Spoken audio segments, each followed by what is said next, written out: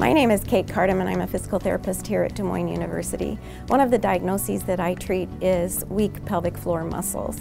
Uh, the pelvic floor muscles are an often overlooked muscle but very, very important for everyday functioning. If a person develops weak pelvic floor muscles, then they often will have problems with urinary or even fecal incontinence.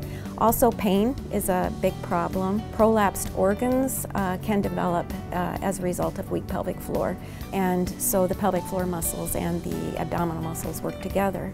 Also with pelvic floor muscles, uh, people can develop back pain. People that can develop pelvic floor weakness, um, the first person or group of people that we think about are women that have given birth, but also people with jobs that involve a lot of lifting can be problematic because uh, lifting can be done improperly and when this is done over uh, long periods of time, then the muscles become compromised. Also, people that have problems with asthma or allergies that involve a lot of coughing or sneezing can develop weak pelvic floor because of the downward pressures that strain and weaken those muscles. Here in physical therapy, we will treat the problem by primarily looking at the muscle and um, seeing how healthy it is. We can check the strength of that muscle just like we do any other muscle. The goals then for therapy are to help someone uh, become continent or reduce the prolapse. We also educate people on ways that they can do things so that they're not